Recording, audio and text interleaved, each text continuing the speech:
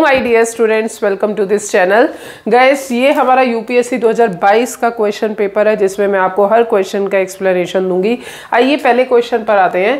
पहला क्वेश्चन है rapid financing instrument आपसे पूछा है rapid financing instrument and rapid credit facility ठीक है? ये इनमें से, ये जो लेंडिंग प्रोविज़न है, इनमें से कौन सा इस लेंडिंग प्रोविज़न को यूज़ करता है?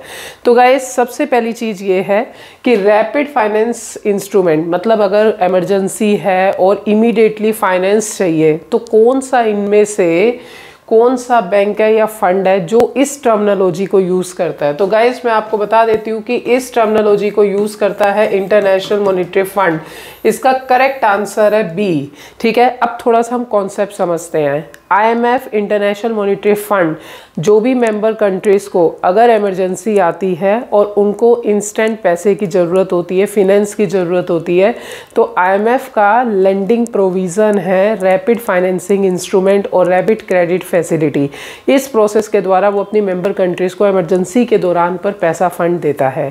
Thank you